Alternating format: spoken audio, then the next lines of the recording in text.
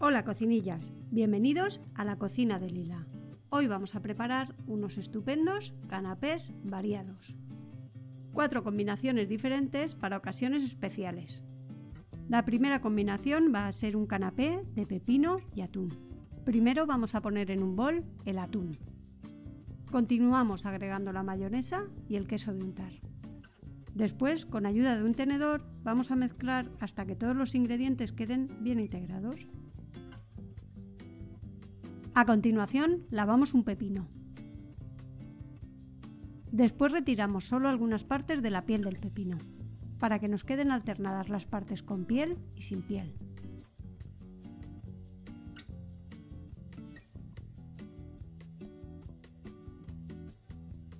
Luego cortaremos cuatro rodajas de más o menos un centímetro de grosor.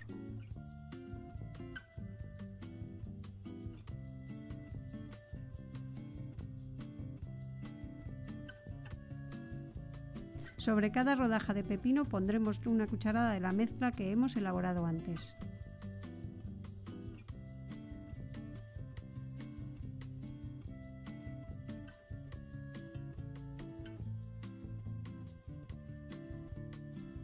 Y para terminar, acabaremos añadiéndoles por encima un poco de cebollino picado. Como ves, un canapé fácil y rápido. Para nuestro segundo canapé usaremos una combinación que nunca falla, queso y nueces. Comenzamos picando unas nueces en un recipiente.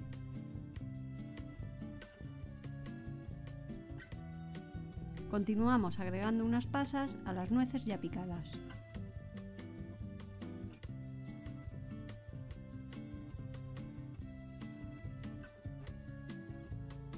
Cortamos el queso de cabra que vamos a utilizar y lo agregamos también a la mezcla anterior.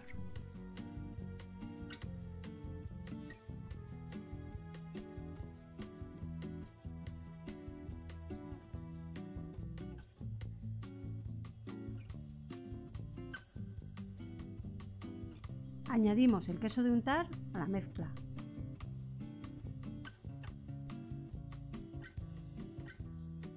Ahora mezclaremos bien todos los ingredientes, hasta integrarlos por completo. Una vez que tengamos la mezcla hecha, la repartiremos sobre unas tostadas.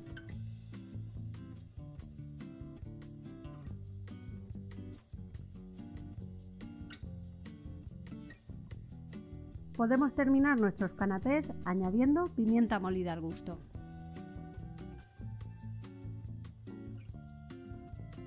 Para la tercera combinación de nuestros canapés variados utilizaremos salmón y queso. Primero retiraremos la corteza del pan de molde.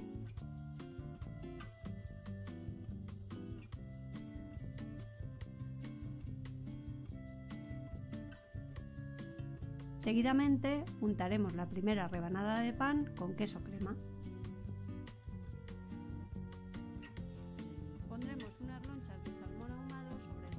Untado de queso.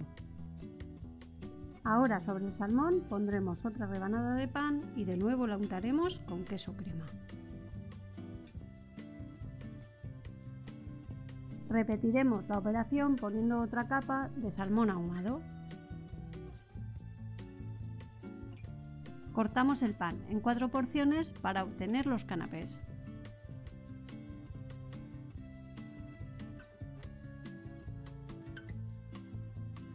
Finalmente, para terminarlos, podemos espolvorear un poco de eneldo seco sobre nuestros canapés de salmón y queso.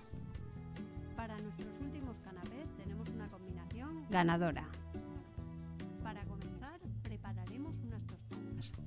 Untamos seguidamente el paté sobre estas.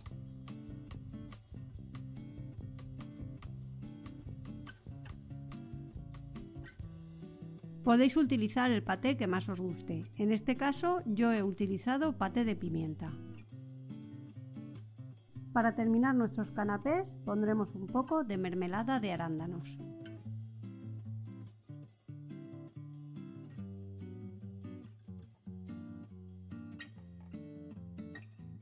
Para terminar nuestra receta pondremos los canapés variados en una bandeja.